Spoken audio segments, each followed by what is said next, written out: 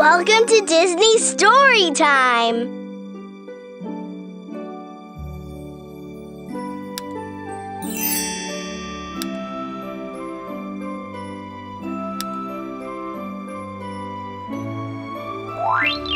To hear the story read to you, tap the orange button. To read by yourself, tap the red button. Beauty and the Beast. Belle and the Castle Puppy. Belle was strolling through the castle garden one chilly spring day when she heard a whimpering sound. A puppy was huddled outside the castle gates. He looked cold and dirty. Oh, you poor thing, Belle exclaimed. Belle picked up the puppy and wrapped him in her red cloak. Let's get you warmed up and fed, she said as she carried him home. Belle and the enchanted objects gave the puppy a bath. When he was clean and dry, the puppy gobbled up a bowl of warm stew. He's so cute. I hope we can keep him, said Chip the teacup. All the enchanted objects were happy to have a guest. But the Ottoman had once been a real dog, just like the puppy, and he was a little jealous of him. What if Belle liked this dog better? He worried. The Ottoman raced around the kitchen, trying to get Belle to notice him, but the puppy was barking at the door. Do you want to go out to play? Belle asked the puppy. All right, let's go. Belle opened the door, and she and the others followed the puppy outside.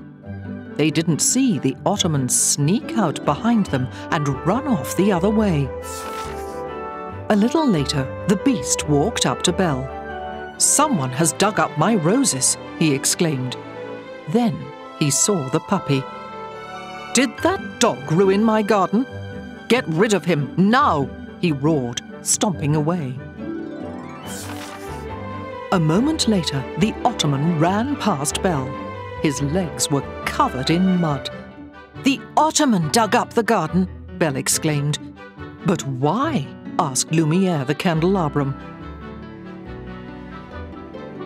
As Belle watched the Ottoman chase after the beast, she suddenly understood. Poor little one, she said. He just wanted some attention too. Suddenly, the puppy raced after the Ottoman, and they both disappeared among the trees.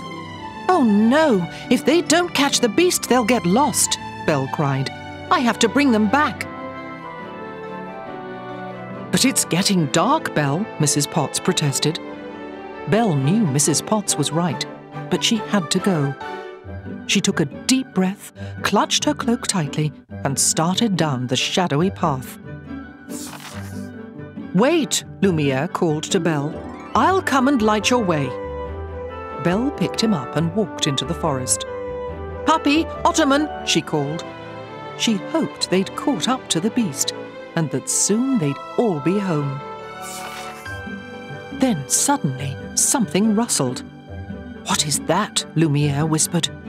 I hope it's just squirrels, Belle answered. They must be very big squirrels, Lumiere replied.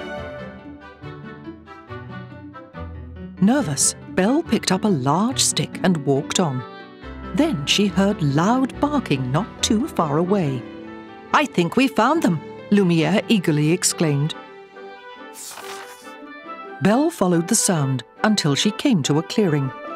The Ottoman and the puppy stood under a large tree. The puppy was growling and barking furiously. What's wrong? Belle asked. Then she looked around and gasped. Two large wolves were standing nearby. The puppy is protecting the Ottoman, Lumiere cried.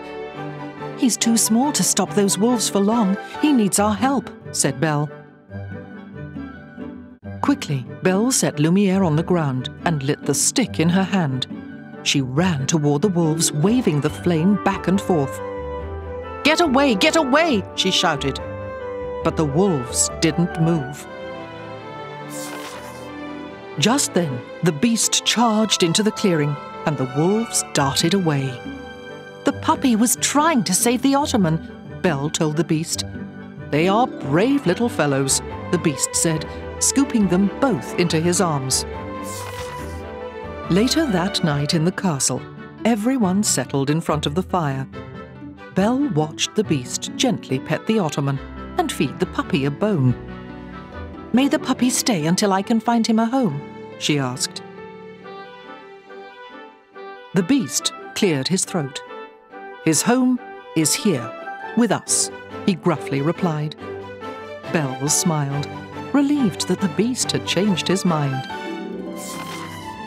The very next day, the beast presented the puppy and the ottoman with shiny badges.